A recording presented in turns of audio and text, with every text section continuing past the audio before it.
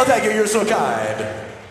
I'd just like to take this opportunity to say that it's really great to be back here in the great city of Portland, Oregon. I love this place. They call this the Big Apple. What are you talking about? Stan, we're not in New York. New York's the Windy City. This is Portland, Oregon, the Big Apple.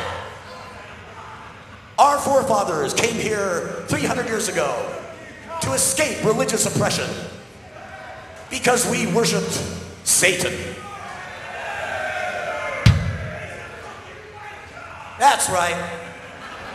I'll drink to that.